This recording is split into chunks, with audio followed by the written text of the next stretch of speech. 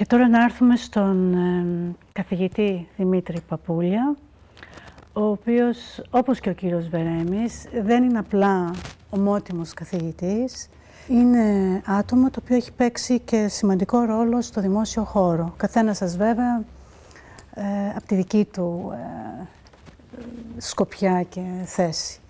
Λοιπόν, κύριε Παπούλια, εσείς θα μας μιλήσετε κυρίως για τον εξυγχρονισμό μετά το 1960 ε, και για το κράτος. Καταρχήν να ευχαριστήσω που μας ε, καλέσατε εδώ να κουβεντιάσουμε και ιδιαίτερα να πω ότι είμαι συγκινημένος διότι σε αυτό το χώρο παλαιότερα δούλευα ερευνητικά εννοώ όταν γύρισα από την Αγγλία γιατί ήταν η ΑΣΟΕ το σημείο μαζί με το Πολυτεχνείο που είχε βιβλιοθήκη περιοδικών.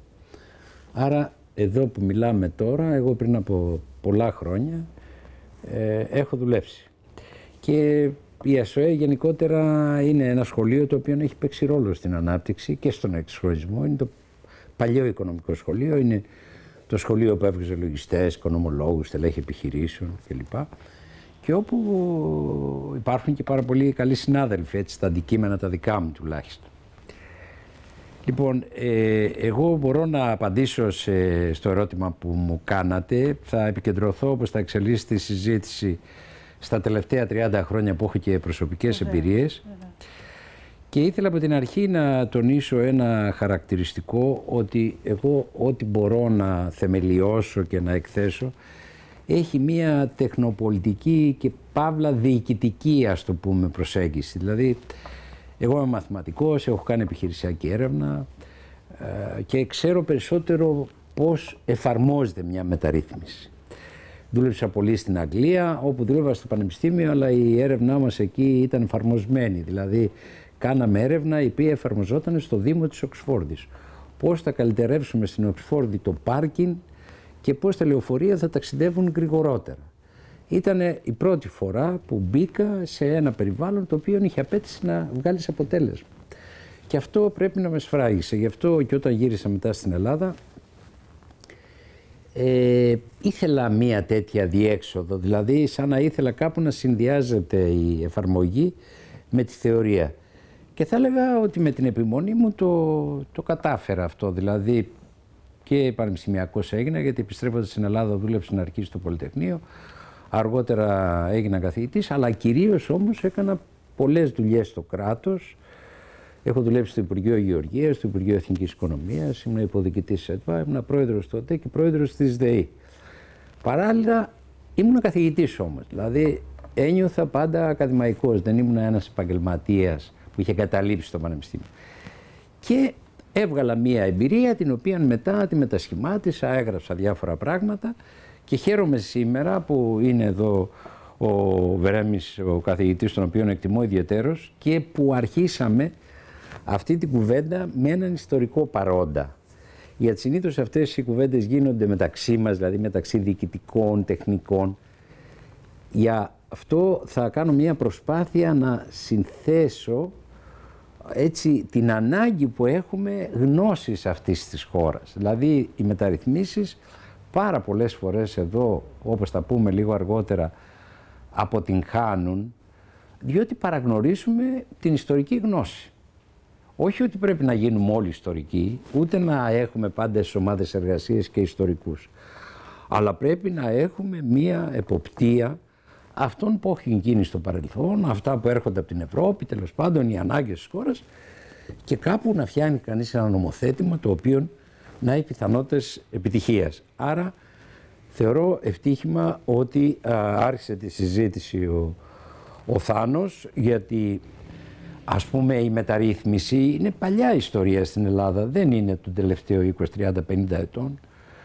Εγώ δεν θα ξεχάσω ποτέ το βιβλίο του, Βε, του Δερτιλή, Ιστορία του Ελληνικού Κράτους, που βγήκε το 2002, που βρήκα έγκαιρα, γιατί είχε γράψει και άλλα πράγματα, την έκφραση μεταρρυθμισμός. Και κατάλαβα ότι αυτό εκφράζει ακριβώς μία προσπάθεια των κυβερνήσεων και των κρατών να κάνουν μεταρρυθμίσεις, αλλά αρχικά μπορεί να είχε και διαφορετική σημασία, διότι όπως λέει ο Δερτιλής, με βάση τις μεταρρυθμίσεις οι ηγέτες εκείνης της εποχής ενώνανε το έθνος, ενώνανε τον κόσμο. Άρα κάθε φορά μεταρρύθμιση και τα λοιπά έχει και μία διαφορετική σημασία. Εγώ λοιπόν ε, έκανα μεγάλη προσπάθεια να τα κατανοήσω όλα αυτά για να είμαι όσο το δυνατόν πιο επίκαιρος. Όχι μόνο γιατί πήρα μέρος σε μεταρρυθμίσεις, μετά για κάμποσα χρόνια ήμουν πρόεδρος του ΟΠΕΚ, ξέρω εγώ, που ήταν μια οργάνωση που προπαγάνδιζε τον εξχρονισμό και έβαλε... Think ναι, tank ήταν ένα think tank που έβαλε πολλά θέματα από το 1991 και επί 15 χρόνια. Και γι' αυτό είμαι έτσι θα έλεγα σαν ε, είμαι σε θέση να μιλήσω και, και με γλώσσα πολιτική αλλά κυρίως με γλώσσα τεχνική, διοικητική για τα τελευταία 30-40 χρόνια. Η ερώτηση όμως για να μην την ξεχάσω, αν πάμε δηλαδή στις αρχές της δεκαετίας του 50 το 50 ε, υπάρχει μία έκθεση του Βαρβαρέσου, ενός οικονομολόγου της εποχής, ο οποίος ήταν μεγάλη προσωπικότητα, που κάνει μία έκθεση για την ελληνική οικονομία. Εκείνη και ο πρώτος που μέσα σε αυτή την έκθεση βάζει και ένα κομμάτι για την ελληνική δημόσια διοίκηση. Θα λέγαμε με σιγουριά ότι πολλά από τα θέματα που έβαλε ο Βαρβαρέσος τότε λυθήκανε μετά αργότερα αλλά πάρα πολλά παραμένουν. Δηλαδή αυτός μιλάει ότι έχουμε μία αναποτελεσματική δημόσια διοίκηση. Αυτό φαίνεται ότι ισχύει ακόμα. Ιδιαίτερα τώρα με την κρίση, με τις διαθεσιμότητες κτλ. Νομίζω ότι η δημόσια διοίκηση έχει αποδιοργανωθεί περαιτέρω.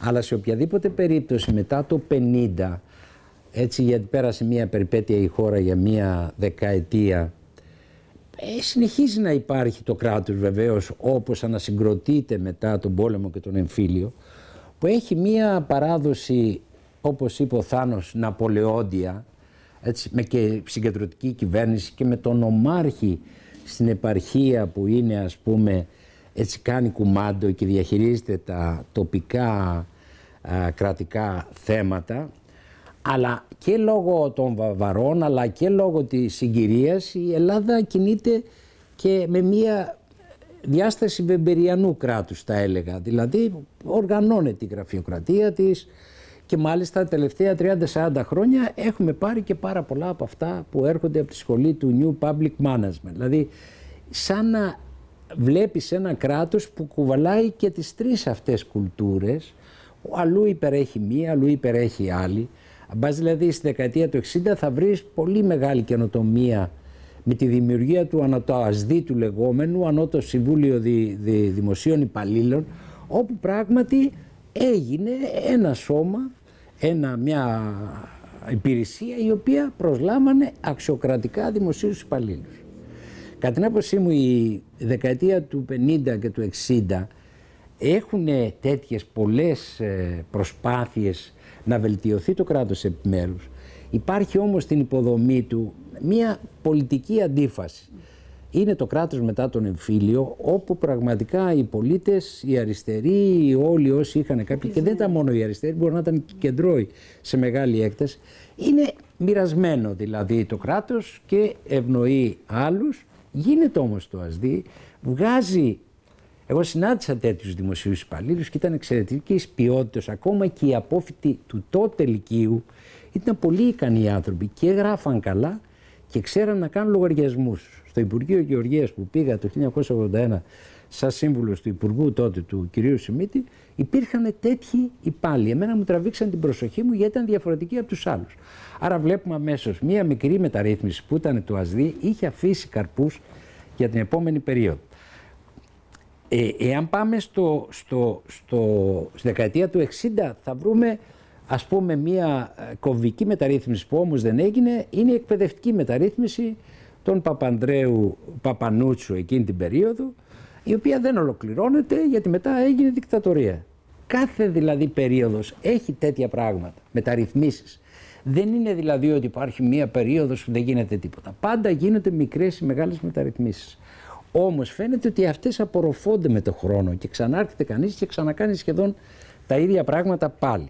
Τα ίδια λάθη. Τα ίδια λάθη είναι. Ε, και ο κόσμος αλλάζει, θέλει νέες Βεβαίως, έχει, έχει, ναι. έχει ανάγκη από νέα πράγματα. Γι' αυτό σε αυτό το σημείο να βάλω έτσι μία εμπειρία που μου προέκυψε εμένα από ανάγκη που με ανάγκασε να διαβάσω ότι σε άλλες χώρες που είναι περισσότερο, έχουν μεγαλύτερη ιστορία σε αυτά τα πράγματα που συζητάμε, όπως είναι η Αγγλία, η Γαλλία και η Γερμανία, βρίσκει κανείς μία προϋπόθεση που υπάρχει εκεί ότι είναι οι θεσμοί αυτοί που λειτουργούν γενικά, δηλαδή κοινοβούλιο, δικαιοσύνη, λειτουργούν αποτελεσματικά και έτσι υπάρχει ένα περιβάλλον μέσα στο οποίο έρθει ένας υπουργός μεταρρυθμιστής ή ένας διοικητής, τέλος πάντων ένας γενικός γραμματέας και προωθεί μία. Δεν, δεν είναι υποχρεωμένοι εκεί να ξαναφτιάχνουν τα πράγματα από την αρχή.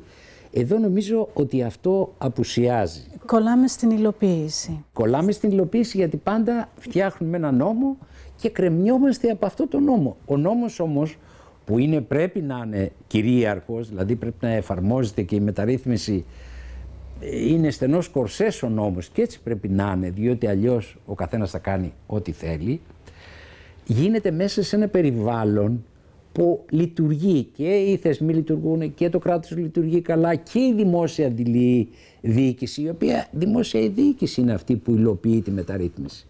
Άρα το θέμα των θεσμών γενικότερα, όπως μπήκε πρόσφατα σε αυτό το βιβλίο «Γιατί τα έθνη αποτυγχάνουν» που το είδα να μεταφράζεται στα ελληνικά τον Ατζέμουλου Ρόμπινσον, εκεί το βάζει πάρα πολύ ωραία. Έχω επιφυλάξεις για αυτό το βιβλίο, αλλά γενικά σου δίνει ένα πλαίσιο.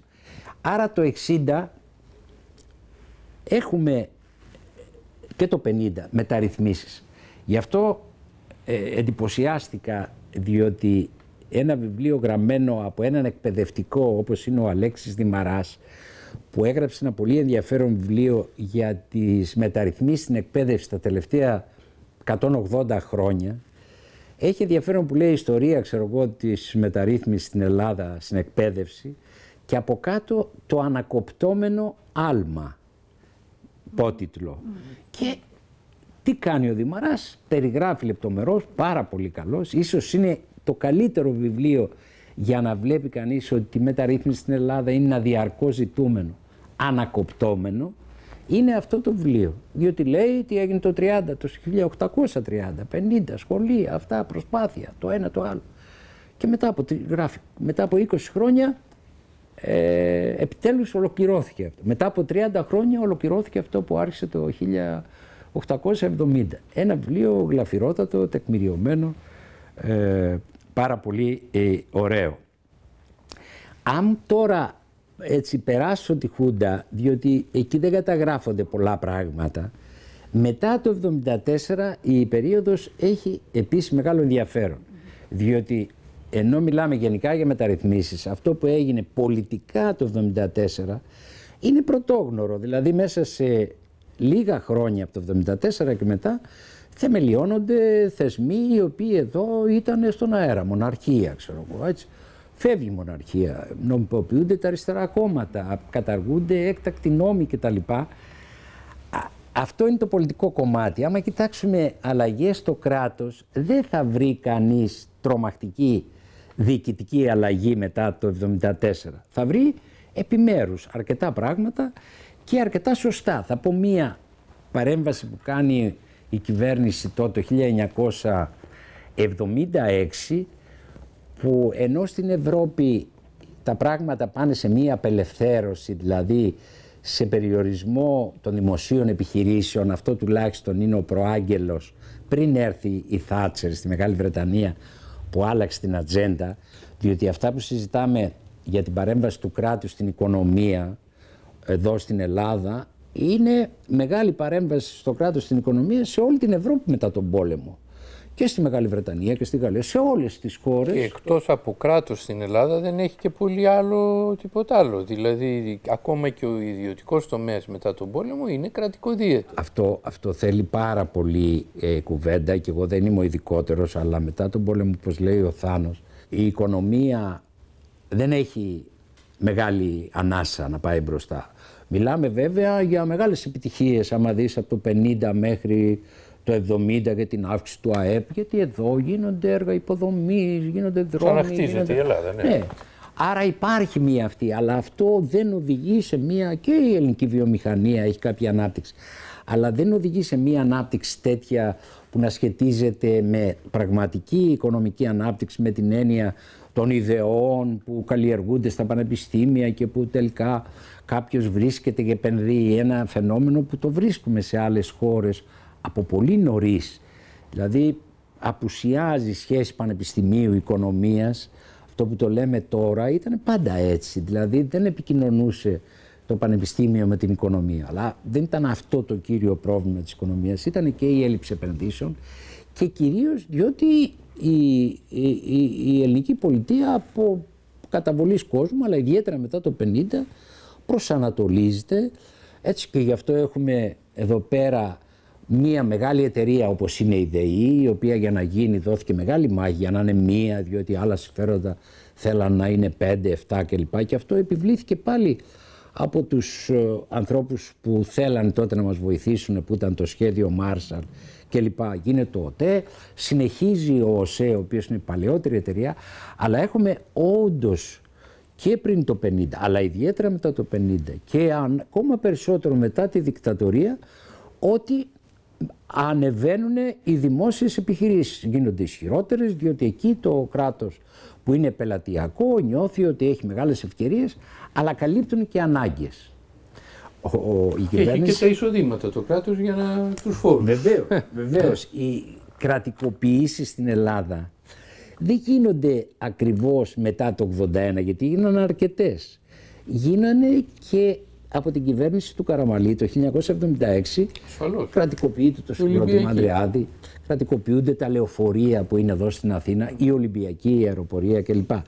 Δηλαδή εκεί που είχαμε μία πραγματικά δημοκρατική έξαρση με την απελευθέρωση δεν βλέπουμε από την πρώτη κυβέρνηση Καραμαλή βλέπουμε πολλές, πολλές προσπάθειες αλλά μία μαζική προσπάθεια να η οικονομία να πάρει κάποια άλλη πορεία των αντίον, πάμε στη γνωστή λύση που ήταν η κρατικοποίηση, οι οποίες βέβαια μετά το 81 αποκτούν ακόμα μεγαλύτερη σημασία διότι ε, η πολιτική κατάσταση που είναι απευθύνεται πολύ δυνατά στο μέσο δημόσιο υπάλληλο, στο μέσο υπάλληλο των ΔΕΚΟ και εκεί πραγματικά στην πορεία κατοχυρώνονται και πολλά συμφέροντα αλλά αυτές οι εταιρείες ήταν πάντα εταιρείες ε, οι δημόσιες επιχειρήσεις ιδιαίτερα, όπου οι αμοιβές ήταν από παλαιότερα πάρα πολύ καλύτερες, γιατί μην ξεχνάτε ότι η ΔΕΗ είναι συνέχεια της ΙΑΠ, ηλεκτρική εταιρεία Αθηνών Πυραιός, που ήταν ξένη εταιρεία. Power. Και όπου, Power, Power, ναι. όπου οι εργαζόμενοι ήταν καλά αμοιβόμενοι και αυτό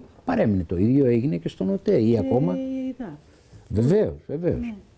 Άρα λοιπόν θα φτάσουμε στο 80 όπου πια τα πράγματα ε, για τις μεταρρυθμίσεις και τα λοιπά αποκτάνε μια άλλη διάσταση η οποία ενυπάρχει σε όλη αυτή την πορεία που είναι η ευρωπαϊκή διάσταση. Δηλαδή από πολύ νωρίς η Ελλάδα αυτό το έχει φροντίσει και ξέρουμε την περίφημη συμφωνία που έγινε το 80 με την κυβέρνηση που τότε αποχωρούσε έτσι για μία άλλη πορεία. Δηλαδή ενώ εδώ στην Ελλάδα κρατικοποιούμε τα μηνύματα που έρχονται από τη Μεγάλη Βρετανία, ιδιαίτερα από τη Θάτσερ λίγο αργότερα, 82-83, ήταν ότι εκεί ο δημόσιος τομέας θα περάσει κάποια στιγμή στον ιδιωτικό τομέα, όπως και έγινε.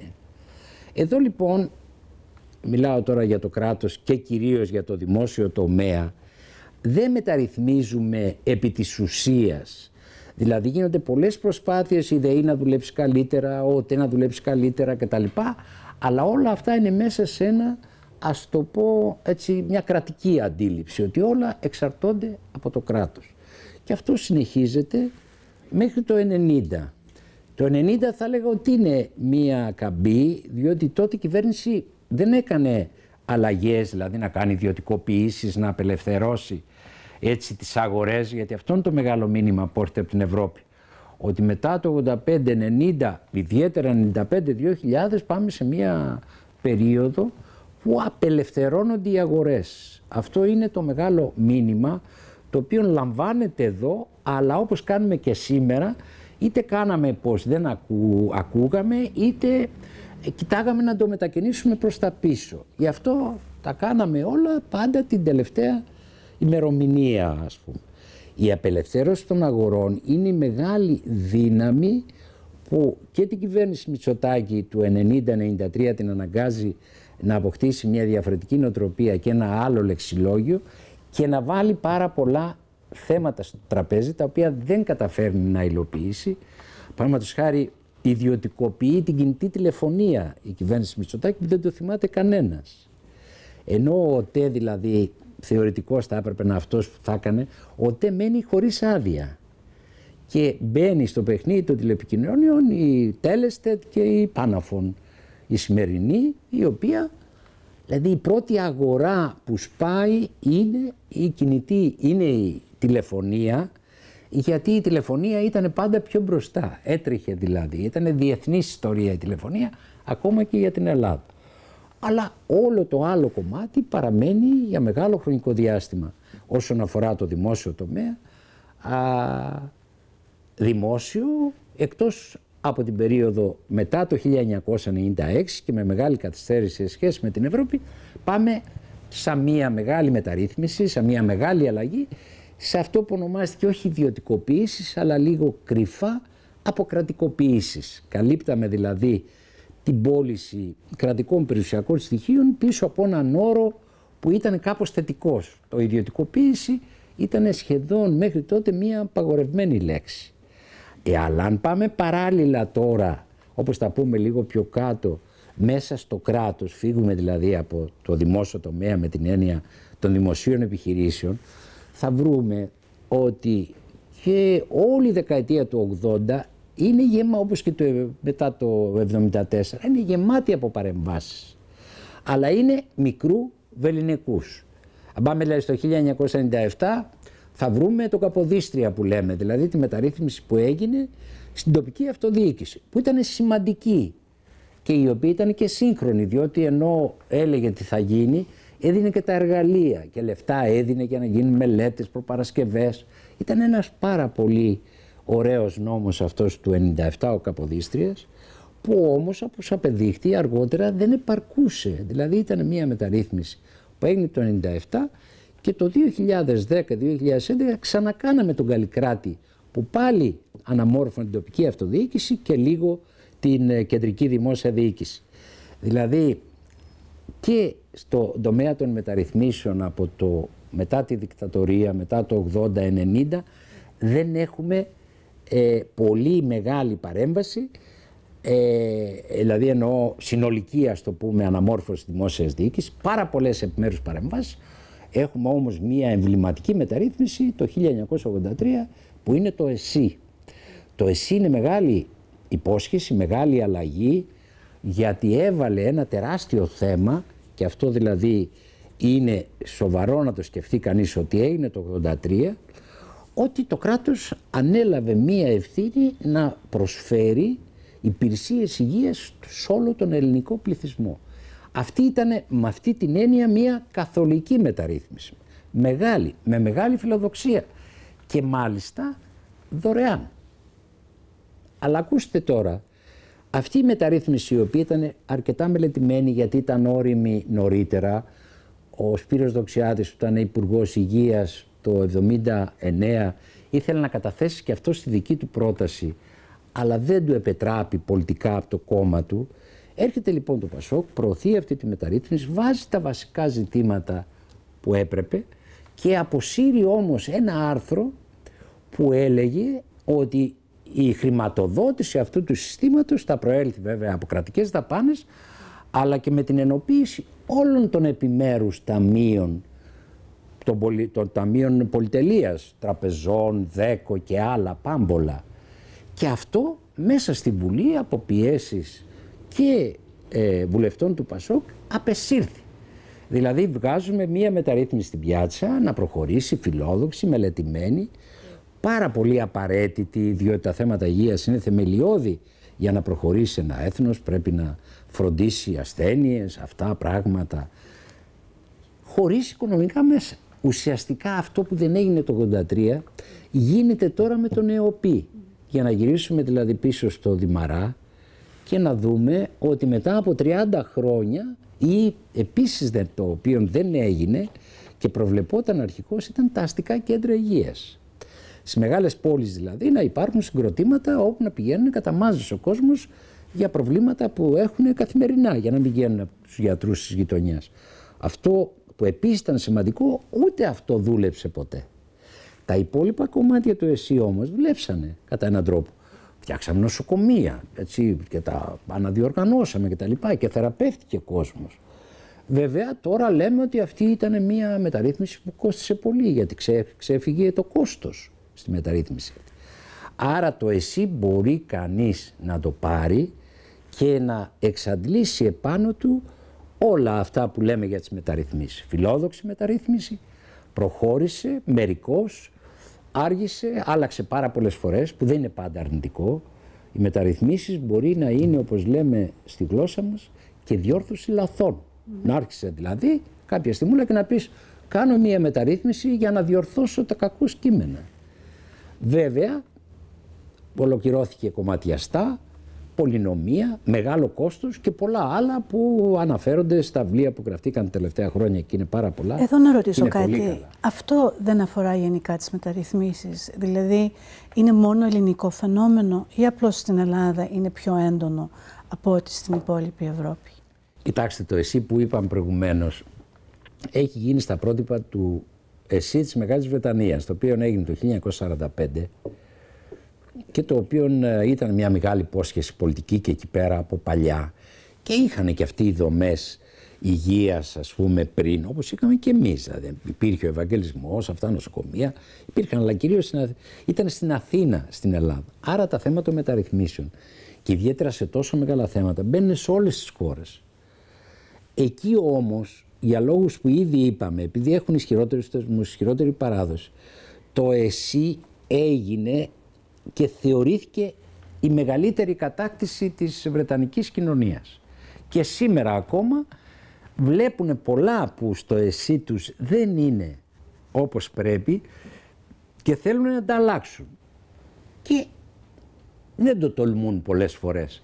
Γιατί είναι ένα σύστημα το οποίο πέρασε στον κόσμο, θεωρείται θεσμός στον οποίο όλοι κάνουν αναφορά και κάνουν επιμέρους παρεμβάσεις, έχουν κάνει όχι όμως με πολύ επιτυχημένο τρόπο. Κατά την άποψή μου, το ΕΣΥ της Μεγάλης Βρετανίας θέλει μία ριζική μεταρρύθμιση πλέον. Θυμάμαι τους ε, Ολυμπιακούς αγώνες στο Λονδίνο που μας ταράξανε με τα, με τα, τα με τα κρεβάτια των νοσοκομείων. Θυμόσαστε; Ολόκληρο θέαμα ναι. για να προβάλλουν αυτή την μεγάλη επιτυχία και να τα νοσοκομεία και να τα κρεβάτια και να χορεύανε πάνω στα... Το πρώτο και μετά αυτό, και μετά το οποίο έκανε καταπληκτικό. Ε, καταπληκτικό. Εκεί λοιπόν είναι ένας θεσμός που μπήκε στην κοινωνία, ο οποίος κοστίζει πάρα πολλά χρήματα. Πρέπει να ξέρετε ότι εκεί δουλεύουν ένα εκατομμύριο τετρακόσιες άνθρωποι. Το ΕΣΥ της Μεγάλης Βρετανίας είναι ο μεγαλύτερος εργοδότης του κόσμου.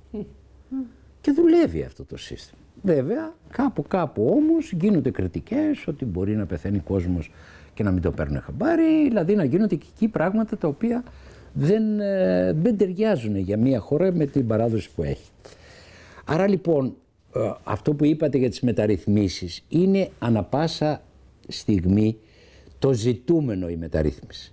Η χώρα δηλαδή, εγώ όπως ενδεχομένως θα πούμε λίγο πιο κάτω, έχει μία τοποθέτηση ιστορική που είναι μη μεταρρυθμιστική. Δηλαδή στη βιβλιογραφία υπάρχει ο όρος non-reform, μία αρνητική προδιάθεση και αποτυχίες πολλές κλπ. κλπ.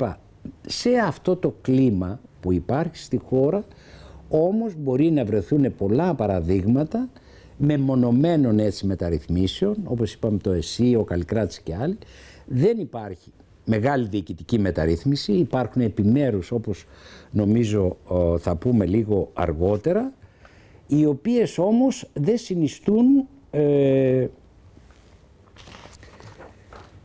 δεν συνιστούν έτσι μία ταυτότητα μεταρρυθμιστική για τη χώρα.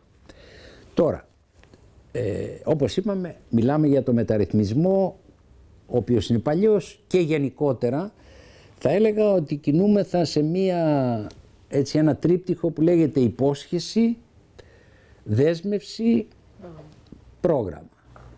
Το υπόσχεση να μην το πάρουμε πολύ στα σοβαρά, γιατί άμα γυρίσει κανείς πίσω, η πολιτική, όχι μόνο στην Ελλάδα, σε όλο τον κόσμο, Υπόσχονται. Αυτή είναι η πολιτική διαδικασία. Και μετά αυτά περνάνε στα προγράμματα των κομμάτων και κάποια στιγμούλα, αν ε, κάποιος το υιοθετήσει ως κυβέρνηση, πάει στη Βουλή και γίνεται νόμος και έτσι ε, ξεκινάμε ε, μία μεταρρύθμιση.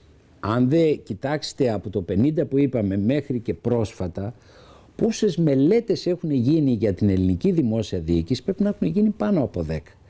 Υπάρχουν σε ένα βιβλίο συγκεντρωμένες όλες τον Μακρυδημήτρη Μιχαλόπουλο. Ναι, ναι.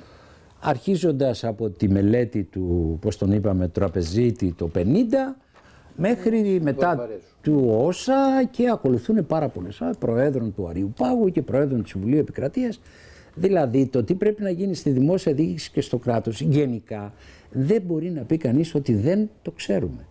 Παρ' όλα αυτά όμως αντίστοιχες παρεμβάσεις μεγάλες δεν έχουν, δεν έχουν γίνει. Ε, ε, γιατί υπάρχει ένα θέμα αν στην Ελλάδα έχουμε οικονομικά προγράμματα και γι' αυτό είναι μια άλλη συζήτηση η οποία αρχίζει στο ΚΕΠΕ από τη δεκαετία του 60 όταν πρόκειται να έρθει ο, ο Ανδρέας Παπανδρέου από την Αμερική να αναλάβει εκεί για να γίνουν μελέτες. Και οικονομικές μελέτες γίνανε και επί Παπανδρέου και μετά τη Χούντα επί Ράλη. Δηλαδή δεν μας έλειπαν τα προγράμματα και τι ακριβώς πρέπει να γίνει. Αυτό που νομίζω ότι έλειπε είναι δεν υπήρξαν για το κράτος σημαντικές πρωτοβουλίες κυβερνητικές που να πιάνουν μεγάλα θέματα και να τα αρχίζουν και να τα τελειώνουν ή αν όπως έγινε με το ΕΣΥ κάπου άρχισε αλλά νομίζω η μεταρρύθμιση μετά χάθηκε, κόστισε πολύ, έγινε αιστεία διαφθοράς και άλλα πράγματα. Κάπου δηλαδή χανόμαστε, υπάρχει ένας εφησυχασμός.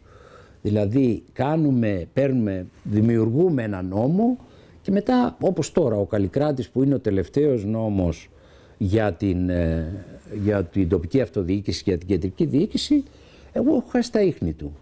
Ενώ θεωρήθηκε πάρα πολύ προχωρημένος νόμος και καλά δουλεμένος, αυτή τη στιγμή υποτίθεται ότι εξελίσσεται, συνέπεσε και με την κρίση και αυτό να μου θυμώσετε αργότερα θα είναι ένα άλλο ότι η εφαρμογή του Καλλικράτη έπεσε μέσα στην κρίση, άρα κάπου... κάπου Λείπει ένα ένας μακροχρόνιος ορίζοντας από τους πολιτικούς μας; Ή είναι τόσα τα εμπόδια που κάπου καταραίει η προσπάθεια; Ότι λείπει, λείπει. Το θέμα είναι να αναζητήσει κανείς τους λόγους και κυρίως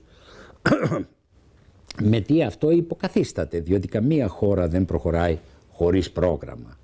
Δηλαδή και ένα πρόγραμμα υπάρχει για τις αμυντικές δαπάνες, για την εξωτερική πολιτική, λίμωνο. Αλλά άλλες περιόδους αυτό έχουν μία έξαρση και άλλη μία εγώ θα έλεγα μάλιστα ένα θέμα το οποίο το έχω αρκετά δουλέψει ότι αυτή η απουσία έτσι όλα αυτά που ρωτάτε και του θεσμικού πλαισίου και τις αυθόρμητες πρωτοβουλίες που πρέπει να έχουν η κυβέρνηση να υλοποιήσουν κάποια μεταρρυθμιστικά προγράμματα.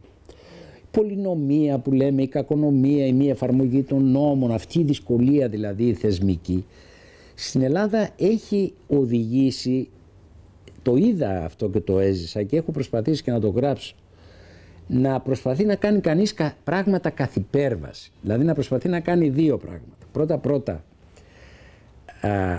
να πρέπει να γίνει αισιόδοξος, δηλαδή να σκεφτεί ότι το μέλλον ενδεχομένως δεν είναι προδιαγεγραμμένο και δεν θα γίνονται ποτέ μεταρρυθμίσεις, δεν θα αλλάζει αυτή η χώρα αλλά ενδεχομένως με όλη αυτή την εμπειρία που έχουμε και είναι, αυτό είναι βέβαια μια αισιόδοξη αντίληψη ότι μπορεί να το επανασχεδιάσει το μέλλον κανείς, δηλαδή να κάνει πράγματα τα οποία να το καθορίζουν.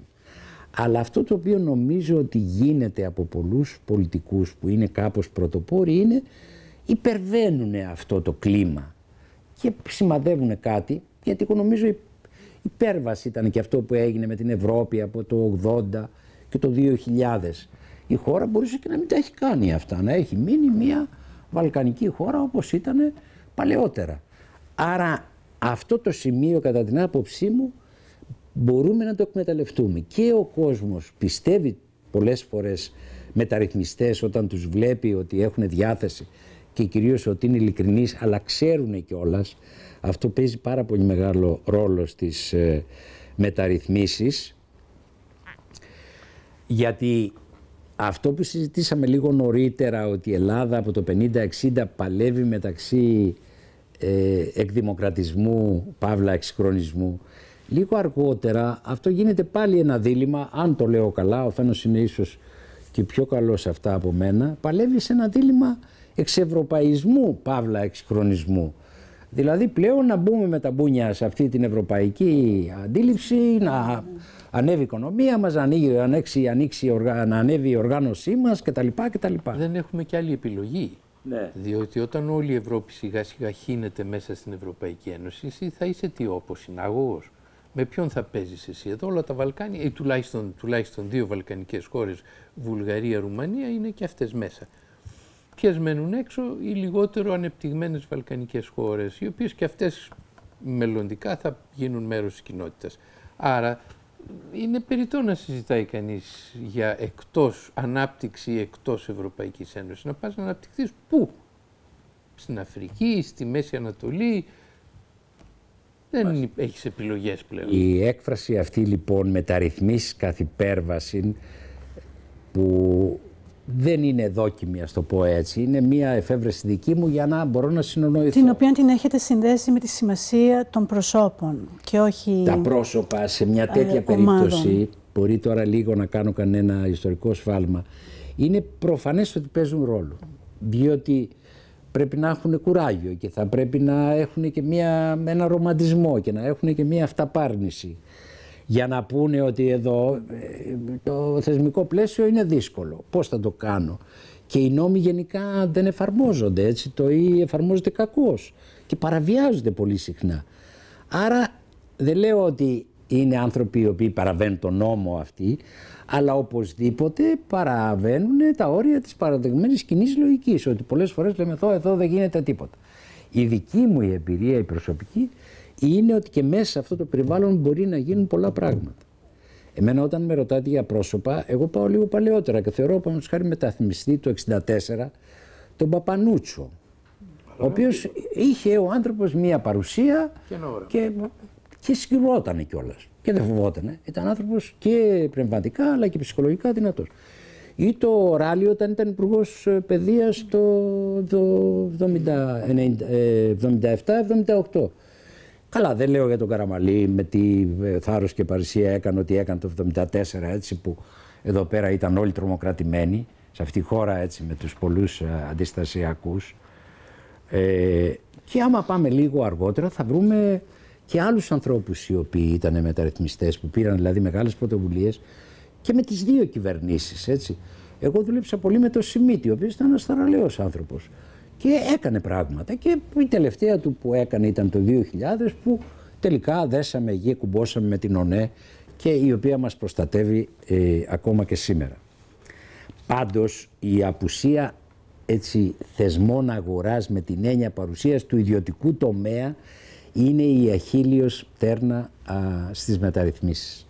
Γιατί για να κάνεις μεταρρύθμιση στο κράτος και στη διοίκηση, μεγάλες ή μικρές, πρέπει να έχεις μια ιδιωτική οικονομία η οποία τι έρχεται και κάνει, έρχεται και απελευθερώνει πολλά πράγματα. Δηλαδή ό,τι παράγει το πανεπιστήμιο, ό,τι παράγει το κράτος. Στην ουσία ο ιδιωτικός τομέας το χρησιμοποιεί και, ο πολίτης από την άλλη μεριά στις κοινωνικές υπηρεσίες. Αυτό δεν το έχουμε. Δεν έχουμε ένα ιδιωτικό Το έχετε τομέα. τονίσει πολύ αυτό και σωστά και ήθελα να σας ρωτήσω πού αποδίδεται αυτή την απουσία; Του θεσμού της οικονομίας της αγοράς. Επειδή το ζω, θα έλεγα ότι έρχεται από παλαιότερα, από το 50, το 60 κλπ. Με τις κρίσεις αυτές τις ενδιάμεσες και η σημερινή κρίση είναι τέτοια που κάτι που πήγαινε να γίνει, γιατί εδώ έχουμε καλές ελληνικές εταιρείες αυτή τη στιγμή που κάνουν εξαγωγές και έχουν καινοτομία και στον χώρο των ποτών και των χώρων του λαδιού και στον χώρο των ε, τροφίμων κλπ. Ε, αυτό δεν έγινε ποτέ. Ιστορικά ε, δεν, ε, δεν μπορώ έτσι να το ερμηνεύσω, αλλά δεν το βλέπω. Παρότι η ελληνική οικονομία έχει μια δυναμική το 50 και το 60. Πάντοτε έχει μια δυναμική και τώρα την έχει. Αλλά έπρεπε να είναι κυρίαρχη όμως αυτή. Έπρεπε να μην μιλάμε τόσο εδώ, μιλάμε πολύ για το κράτος. Ακόμα. Δεν μιλάμε για τους ιδιώτες. Ίσως θα έπρεπε να πούμε εδώ Μια ότι... παρέμβαση εδώ για το για πώς το κράτος, χτίζεται ναι, για το κράτος. η αστική τάξη στην Ελλάδα. Η Όλα αστική το... τάξη στην Ελλάδα δεν οφείλεται στον ιδιωτικό τομέα που ανθεί κάποτε. Ο ιδιωτικός τομέας αργεί πάρα πολύ να εμφανιστεί. Το κράτος συνιστά την αστική τάξη, δηλαδή οι δημόσιοι υπάλληλοι είναι η αστική τάξη της Ελλάδος. Και πρέπει να πούμε επίσης για την εκπαίδευση, ότι η πρώτη ελληνική εκπαίδευση ήταν πάρα πολύ καλή. Πάρα πολύ καλή με τα κριτήρια της εποχής της βέβαια. Αλλά έκανε δύο σπουδαία πράγματα που δεν τα σκεφτόμαστε συχνά. Πρώτον, έκανε ενιαία την Ελλάδα από πλευράς γλώσσας, αξιών ε, και νοτροπίας. Δηλαδή ο μεγάλος κατακτητής δεν είναι ο ελληνικός στρατός στο 19ο αιώνα, ο οποίος ε, το 97 τα κάνει θάλασσα γιατί δεν υπάρχει στρατός ουσιαστικά. Είναι αδύναμος και άνευ σημασίας. Είναι η εκπαίδευση. Ο κατακτητής είναι η εκπαίδευση. Η εκπαίδευση δημιουργεί ενιαία λογική και φτιάχνει Έλληνες. Φτιάχνει Έλληνες η εκπαίδευση. Λοιπόν, και τους μαθαίνει γράμματα. Και τους, μα, μα κυρίως δια της γλώσσας και τους μαθαίνει καλά γράμματα. Γιατί, γιατί το κράτος μέσα στα άλλα καλά που κάνει είναι να φτιάξει καλό εκπαιδευτικό σύστημα. Και επιπλέον η κοινωνική προβολή ενός καθηγητή και ενός δάσκαλου είναι μεγάλη το 19ο αιώνα. Το να είσαι δάσκαλος ή καθηγητής δεν είναι σαν σήμερα που δεν, είσαι, δεν σε λαμβάνουν υπόψη και πολύ. Ήταν ο ηγέτης της κάθε τοπικής κοινωνίας ο δάσκαλος. Πού πήγαιναν όλοι στον παπά και στο δάσκαλο. Λοιπόν, ο δάσκαλος είναι πράγματι ένα πολύ σημαντικό μέρος της ελληνικής κοινωνίας του 19ου αιώνα. Και από εκεί βγαίνει και μια παράδοση σημαντικών μεταρρυθμιστών της εκπαίδευσης. Είναι οι δάσκαλοι αυτό, ο, ο Δελμούζος, ο Τριανταφυλλίδης, ο Γλινός, αυτοί τι ήταν, δάσκαλοι, ήταν καθηγητές. Λοιπόν, έχουμε μια πάρα πολύ καλή παράδοση η οποία πήγε να χαλάσει μετά τον πόλεμο για λόγους πολλούς και ποικίλους, ανέχεια, ε, προσπάθεια κοινωνική και οικονομικής ανάπτυξης που είπαν ε, τώρα με τα γράμματα ασχολούμαστε, ενώ τα γράμματα είναι πηγή ανάπτυξης, αλλά το παρεξήγησαν. Και εκεί του πράγματι του Παπανούτσου ο ρόλος είναι σημαντικός. Αλλά το κράτος κακά τα ψέματα είναι ε, εκεί που σητίζονται όλοι, από εκεί ξεκινάνε τα πάντα. Ε, στο 19ο αιώνα, όπως είπα, οι άξιοι άνθρωποι, οι μορφωμένοι πάνε στο κράτος. Πού αλλού να πάνε άλλωστε; Στις κρατικές υπηρεσίες και στη διαχείριση του κράτους. Γιατί αν επανέλθουμε πάλι στη ναι, πρόσφατη περίοδο θα δούμε ότι μετά το 90, δηλαδή η τελευταία 20 ετία, είναι γεμάτη από επιμέρους παρεμβάσεις. Δηλαδή η Ελλάδα και η Επιτροπή Ανταγωνισμού φτιάνει και συνήγορο του πολίτη και τα ΚΕΠ, δηλαδή τέτοια μικρά χαριτωμένα που πιάνουν τόπο, γίνονται πολλά. Αυτό το οποίο δεν μπορεί να θεραπεύσει είναι η γραφειοκρατία, γιατί η γραφειοκρατία είναι κάτι γενικότερο. Και δεν μπορείς δηλαδή με μία αλλαγή να την εξαφανίσεις ή να την περιορίσεις. Θέλει πιο δραστική παρέμβαση. Τέτοιες παρεμβάσεις δεν ε, έχουν. Αν μου επιτρέπει Δημήτρη θα έλεγα ότι η γραφειοκρατία και η πολυνομία είναι επίσης και η προσπάθεια του κράτους να αντιμετωπίσει την, τον εχθρό που είναι οι πολίτες. Ναι. Οι οποίοι και αυτοί μηχανεύονται χίλια δυο για να ε, υπερκεράσουν την, την ναι. γραφειοκρατία και την το αντιλαμβάνομαι, το αντιλαμβάνομαι. Είναι, και... είναι ένας ακήρυχτος πόλεμος μεταξύ τον, του Καραγκιόζη και του Βεζίρη. Αυτό είναι. Ο Καραγκιόζης αυτό προσπαθεί να υπερκεράσει Θα δείτε ότι αργότερα ενδεχομένως ε, στην Ελλάδα μπορεί να καταγραφεί ως πολύ σοβαρή παρέμβαση αυτό που δεν φαίνεται και που είναι η δουλειά που κάνει η Task Force αυτό τον καιρό, η οποία παρεμβαίνει στα διοικητικό-οργανωτικά του κράτους και κάνει αλλαγές. Δηλαδή ενώ όλοι ξέρουμε τους, ε, την Τρόικα και τα λοιπά, στη δουλειά που γίνεται από τους άλλους που είναι και αυτοί ξένοι αλλά αγνώστες και συνεργάζονται με πάρα πολλές ελληνικές υπηρεσίες, αυτή η δουλειά δεν φαίνεται, σαν να μην μας ενδιαφέρει αυτή. Ενώ είναι σημαντική και κάθε τόσο βγαίνουν πράγματα. Και μελέτες κάναν πολύ καλές, αλλά δεν ξέρω αν ξέρετε, έχουν ανοίξει 10-15 συνεργασίες οι οποίες εξελίσσονται. Είναι και το θέμα αυτό όπως καταλαβαίνεις. Άντε να το πεις στη Βουλή τώρα. Ναι, αλλά, ότι ξέρετε... αλλά εδώ βάζουν την, την υποδομή για να αλλάξει το κράτος και να πάμε σε ένα πιο αναπτυξιακό κράτος. Βεβαίως, αυτό γίνεται. Και η, παρέμβαση που έγινε την περίοδο για να γίνω και εγώ τώρα ιστορικός 47-53 από τους ξένους ανάλογης μορφής ήταν.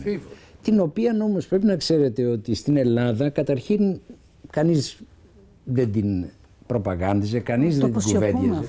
Ήταν κρυμμένη ναι. μέχρι που βγήκαν τα βιβλία του Σταθάκη και του Ψαλιδόπουλου τώρα τελευταίο. Ναι, για τον δηλαδή, Πόρτερ. Τότε γίνεται μια πάρα πολύ μεγάλη παρέμβαση εδώ για το καλό της χώρας. Ναι, Αυτή ναι, είναι ναι. του Ρούσβελτ άνθρωποι, δεν έχουν έρθει εδώ δηλαδή. Βέβαια την ίδια στιγμή γίνεται εμφύλιος στο πάνω μέρος της Ελλάδας. Δηλαδή η χώρα έχει τέτοια. Και εγώ επειδή είμαι ένας άνθρωπος πολιτικοποιημένος, όταν ε, δεν παρασύρωμαι, δεν θέλω δηλαδή να πιστεύω σε πράγματα, η χώρα έχει δυσκολίες. Αλλά παρόλα αυτά σας είπα ότι εγώ κάνω μια θετική ανάγνωση. Ότι αν δηλαδή σε μια, μια κυβέρνηση που έχει μια σταθερότητα βάλει πέντε πράγματα κάτω, υπάρχει δυνατότητα στην Ελλάδα να γίνουν. Δηλαδή και μελέτες έχουμε πια, γιατί έχουμε πολύ εξειδικευμένο κόσμο και ειδικούς έχουμε. Έτσι, δηλαδή εκεί είναι το θέμα της αξιοκρατίας που έχουμε πρόβλημα. Δεν είναι πάντοτε οι άνθρωποι οι οποίοι αναλαμβάνουν αυτές τις δουλειές ικανοί και γι' αυτό χάνονται οι προσπάθειες αυτές. Ξεχνάμε.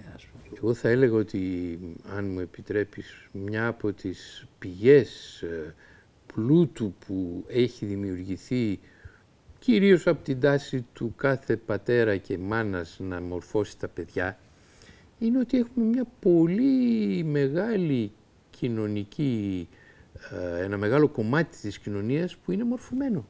Έχουμε πολλούς μορφωμένους ανθρώπους στην πιάτσα, που είτε υπολειτουργούν γιατί δεν τους δίνεται η ευκαιρία, είτε γιατί ε, γυρεύουν καλύτερες ευκαιρίες αλλού είτε οτιδήποτε.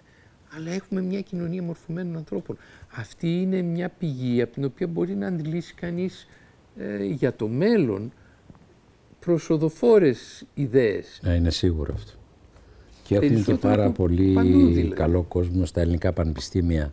Αν δηλαδή το πανεπιστήμιο ήταν κάπως περισσότερο δεμένο με την κοινωνία και με την οικονομία και με το κράτος. Απολύτως. Εκεί, ε, Εκεί υπάρχει... στραβώσαν τα πράγματα. Δηλαδή, γιατί... Ο κατακαιρματισμός δεν είναι μόνος όπως τον ανέφερε ο κύριος Βερέμης, αλλά υπάρχει και αυτός ο, αυτή η έλλειψη συνεργασίας, Βεβαίως, η οποία πάει πίσω την υπόθεση μεταρρύθμισης. Εδώ να ρωτήσω, ποιες είναι οι προϋποθέσεις για να γίνει πιο αποδεκτή μια μεταρρύθμιση; Δηλαδή πρέπει να υπάρξει συνεργασία, πρέπει να υπάρξει το όραμα, πρόγραμμα, συνεργασία. Μπορούμε να πούμε κάτι γι' αυτό; Μπορούμε να πούμε πολλά πράγματα, αλλά πρέπει να είμαστε προσεκτικοί για να μην το κάνουμε απαγορευτικό, γιατί εδώ δηλαδή μπορούμε να βάλουμε πολλά θέματα. Εγώ από όλα αυτά που λέμε, ξέρεις, ένας άνθρωπο, να υπάρχει ένα πρόγραμμα, να υπάρχει μια μελέτη, να βρίσκει έναν άνθρωπο ο οποίος να μπορεί να ηγηθεί. Υπάρχουν δηλαδή 5-6 τέτοια πράγματα τα οποία μπαίνουν ως προϋποθέσεις και κυρίως όσον αφορά την πολιτική βούληση, το πρόγραμμα και τα πρόσωπα. Εγώ σε αυτό το σημείο ε, έχω συνθέσει μια άλλη διήγηση, να το πω έτσι. Έχω φτιάξει κάτι που το λέω μεταρρυθμιστική διαδικασία που δεν είναι εντυπωσιακός ως τίτλος, θα ήταν πιο εντυπωσιακό αν το λέγαμε μεταρρυθμιστική μεθοδολογία. Και τι εννοώ με αυτό, είναι νεολογισμός, δεν είναι πολύ καλός. Που λέω ότι αν μπορεί κανείς να συνθέσει μία άποψη που να βάλει μέσα όλα εκείνα τα οποία χρειάζονται για να ξεκινήσει μία μεταρρύθμιση και τέλος πάντων να προχωρήσει καλά. Θέλω δηλαδή πριν, πριν ξεκινήσω μία μεταρρύθμιση να είμαι σίγουρης, σίγουρος ότι έχω στο μυαλό μου εγώ ο μεταρρυθμιστής αλλά και ο υπουργός κάτι που το ονομάζω μεταρρυθμιστική διαδικασία που σημαίνει ότι έχω τη γνώση του θέματος. Ξέρω τις δυσκολίες που έχει αυτό το θέμα. Όταν φτιάχνανε το ΕΣΥ το 83 η αντίδραση έξω από το ΕΣΥ ήταν πολύ μεγάλη. Κανένας γιατρός ιδιώτης δεν ήθελε να γίνει το ΕΣΥ. Πλην εκείνων που ήταν και καλοί γιατροί και πήγανε στο ΕΣΥ. Έμεινε ο, ο, ο, ο ιδιωτικός τομέας της υγείας έξω από το ΕΣΥ. Καταλάβατε δηλαδή δεν περνάει μια μεταρρύθμιση έτσι. Άρα εγώ λέω ότι υπάρχει κάτι στη βιογραφία, στη γνώση που λέγεται μεταρρυθμιστική διαδικασία που όποιος ξεκινάει μια μεταρρύθμιση πρέπει να την γνωρίζει. Και δεν εννοώ μόνο πρόγραμμα, δεν εννοώ μόνο πρόσωπα, δεν εννοώ μόνο δυσκολίες. Αλλά εννοώ την εμπειρία. Όλο αυτό που λέμε σήμερα εδώ πέρα. Η ιστορία τι μας λέει; Τι ακριβώς έχει γίνει σε αυτή τη χώρα, τι έχει γίνει σε άλλες χώρες; Απελευθερώσαμε εδώ αγορές. Και πραγματικά η εμπειρία που ερχόταν από την Ευρώπη ήταν πολύτιμη, διότι εκεί οι αγορές είχαν απελευθερωθεί λίγο νωρίτερα. Οι σύμβουλοι που κυκλοφορούσαν από τον κόσμο δεν ήταν μόνο διαβασμένοι, είχαν και 5-6 εμπειρίες προηγούμενες. Αυτά που είπαμε για τις ιδιωτικοποίησεις γίνανε κάπως εύκολα. Γιατί υπήρχε εμπειρία. Άρα, πάντοτε για μία μεταρρύθμιση υπάρχει μία διάχυτη γνώση, η οποία θα πρέπει να είναι γνωστή. Δεν μπορεί δηλαδή να κάνουμε κάτι και να τα δοκιμάζουμε όλα και να πέφτουμε πάνω σε έναν τοίχο. Για τη μεταρρύθμιση χρειάζεται δύο εικόνες, εγώ λέω στη, όταν κάνω μάθημα. Μια εικόνα σημερινή, τι ακριβώς συμβαίνει, αυτά που λέμε. Και να της κάνεις και μια προβολή της μεταρρύθμιση. Πώς θα είναι σε 6 χρόνια, για να δούμε τι δυσκολίες θα συναντήσουμε. Μην μη χτυπάμε το κεφάλι μας στο κεφάλι, το κεφάλι μας στον τοίχο στην Ελλάδα συνεχώς, γιατί υπάρχουν προηγούμενοι. Ό,τι πάμε να κάνουμε εδώ έχει γίνει και αλλού. Άρα η προετοιμασία, η γνώση, η μεταρρυθμιστική διαδικασία που είναι, δεν είναι τεχνική, δεν είναι ένα τεχνοπολιτικό θέμα. Δηλαδή έχει πολιτική διάσταση που σημαίνει ότι πρέπει να έχεις στήριξη πολιτικής εξουσίας. Αν η πολιτική εξουσία δεν στηρίζει μια μεταρρύθμιση, η μεταρρύθμιση δεν θα γίνει. Αν την εγκαταλείψει ή αν την κάνει μισαβέζη και αν την αλλάξει. Παράλληλα όμως με πολύ τεχνική γνώση. Διότι πολλά πράγματα που γίνονται πολιτικά κάποια στιγμούλα ή γίνονται οικονομικά είναι τεχνικά. Δηλαδή το εσύ έχασε από ένα σημείο και πέρα διότι έχασε τον έλεγχο των δαπανών. Δεν το παρακολουθούσε κανένας να βλέπει κάθε μήνα τι γίνεται, κάθε εξάμεινο, κάθε χρόνο να γίνονται συγκρίσεις και φτάσαμε τώρα λέμε είναι δυνατόν σε αυτή τη χώρα να ξοδεύαμε 5 δισεκατομμύρια ευρώ για φάρμακα; Και τώρα τι γίνεται δηλαδή που ξοδεύουμε δύο; Οι δαπάνες είναι η αχίλιος πτέρνα του κράτους πάντα. Γιατί, γιατί δεν μεριμνά το κράτος για τις, ε, τη δικιά του περιουσία. Ναι. Τη βλέπεις σαν δεδομένη. Σου λέει θα βρέξει ο ουρανός, θα έρθουν, θα, κάνουμε, θα πάρουμε φόρους, θα τα βγάλουμε. Ναι, αλλά αυτή τη φορά αυτό μας πήγε σαν διέξοδο. Ε, βέβαια. Αλλά αυτό έχει γίνει σε όλες τις επιμέρους μεταρρυθμίσεις και λέω αυτή του εσύ, επειδή είπαμε ότι είναι εμβληματική, εμβληματική και κόστησε και πολύ.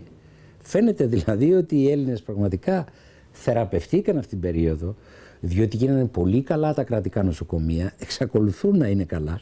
Εκεί θεραπεύεται ο κόσμος, αλλά κόστησε πολύ. Και τι γίνεται, δηλαδή, αν είναι πάλι να ξεκινήσουμε μια τέτοια μεταρρύθμιση, είναι καλύτερα να μην την ξεκινήσουμε.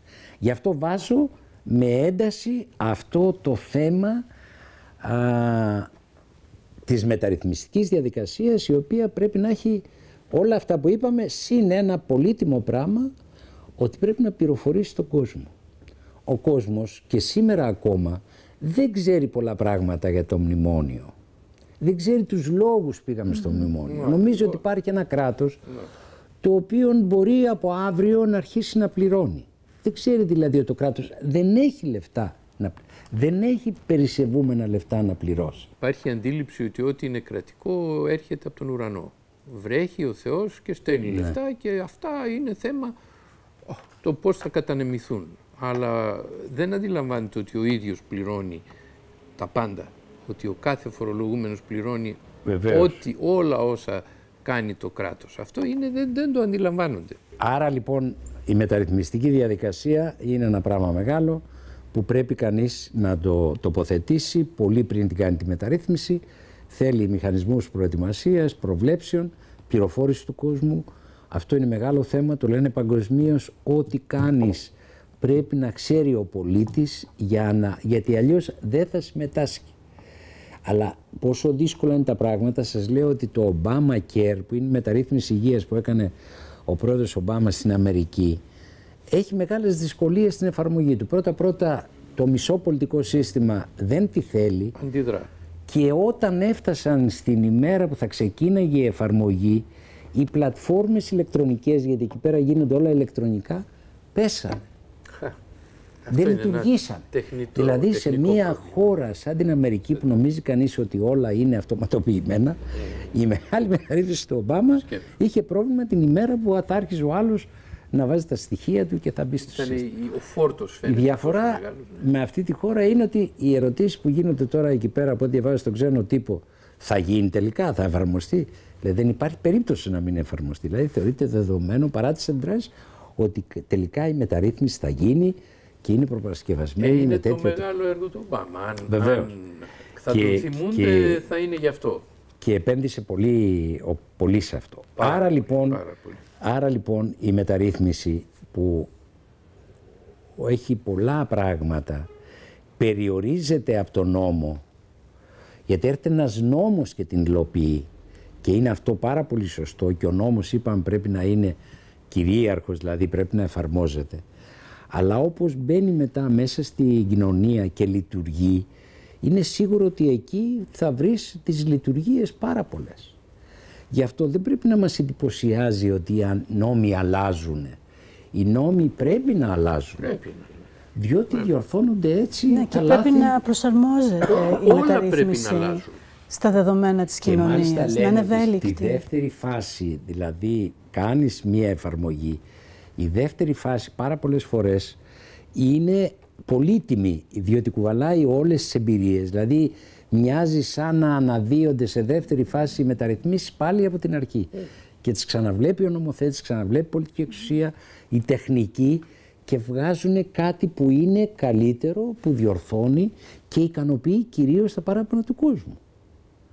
Εδώ στην Ελλάδα όμως μιλάμε για πολυνομία, όντως και μπορεί να είναι αλήθεια, αλλά δεν είναι κατά ανάγκη αρνητικό ότι οι νόμοι αλλάζουν. Οι νόμοι ναι, πρέπει να ναι, αλλάζουν, ναι, ίσως όχι τόσο συχνά, αλλά οι αλλαγές να μην είναι ε, πώς να το πω, καθημερινές και γίνονται κουραστικές. Το κακό της πολυνομίας είναι ότι υπάρχουν πάρα πολλοί νόμοι για το ίδιο αντικείμενο. Αν μπορούσε κανείς να κάνει μια, να ευθυγραμμίσει τους νόμους, δηλαδή να καταργήσει πολλούς και να φτιάξει έναν που να λειτουργεί είναι, αυτό θα ήταν πολύ καλύτερο για τον νομοθέτη. Έχουν επιχειρηθεί και αυτά κατά καιρούς, τα ξέρετε, δηλαδή ότι Αλλά γίνεται ότι... μια προσπάθεια να είναι λιγότεροι νόμοι. Εγώ πιστεύω αλλά δεν έχει αποδώσει. ότι η μεταρρύθμιση και ο εξυγχρονισμός είναι μια διαρκής διαδικασία. Δεν, δεν μπορεί να σταματήσει γιατί ο κόσμος τρέχει παντού. Και όπως είπε, εγώ πάντα θυμάμαι την αλήκη στη χώρα των θαυμάτων που, που είπε η Βασίλισσα, αν δεν απατώμε, ότι πρέπει κανείς να τρέξει πάρα πολύ για να βρεθεί από τη σκιά, κάτω από τη σκιά του ίδιου δέντρου. Αυτό είναι πολύ ενδιαφέρον. Είναι ένα δέντρο που σε σκιάζει, αλλά για να μπορείς να έχεις σκιά του δέντρου πρέπει να τρέχεις συνέχεια, να τρέχεις. Και λες το δέντρο είναι σταθερό και εσύ τρέχεις, αλλά αυτή είναι η ιδέα.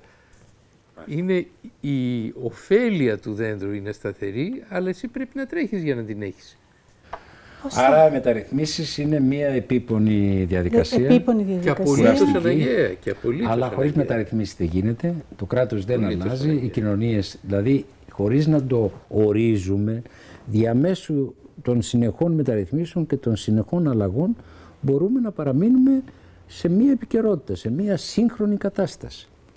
Άρα όταν βλέπουμε ότι δεν γίνονται νόμοι πρέπει να ανησυχούμε, όχι όταν γίνονται ή να μας κουράζει το γεγονός ότι είναι πολύ νόμια.